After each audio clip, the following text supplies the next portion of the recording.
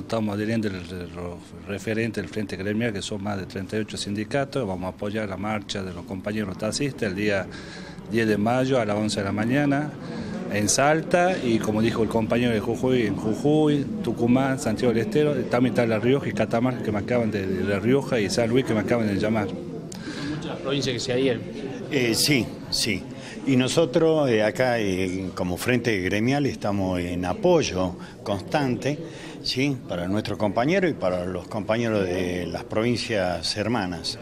También quiero aprovechar esta oportunidad para decirle de que este Frente Gremial es el único ¿sí? Frente Gremial acá en Salta. lo digo porque he visto otros carteles y no me ha parecido bueno de que esté este, este cartel en otro tipo de, asamblea, en otro tipo de manifestaciones. ¿sí? Entonces quiero dejar claro de que este es el único frente gremial acá en Salta.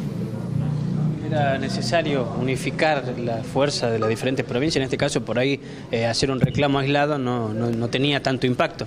Mira, yo creo que sí, mira, eh, gracias a la unión que hicimos, sacamos una unión importante el día 26 de abril, la semana que viene, el día martes a las 14 horas, con el jefe del Gabinete Nacional, el licenciado Marco Peña que también informó que iba a estar el ministro de Trabajo, el ministro de Energía y el ministro de Transporte. Yo creo que uniendo todo vamos a sacar esa reunión importante y vamos a llevar un petitorio y vamos a llevar todo de acá de Salta y del norte argentino, del NOA, lo que está pasando de la problemática, aprovechando la problemática de los taxistas, de la problemática del sector del agrario, del sector de limpieza, de todo. Y creo que uniendo la fuerza hicimos todo eso.